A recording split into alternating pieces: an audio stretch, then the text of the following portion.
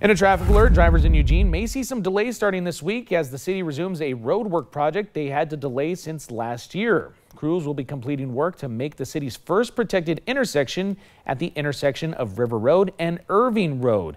The city will be finishing bike lanes, curbs, and pedestrian crossings, all to increase safety throughout the area. That work was supposed to be finished last fall, but overhead utilities needed to be moved. The work is expected to be finished now by August.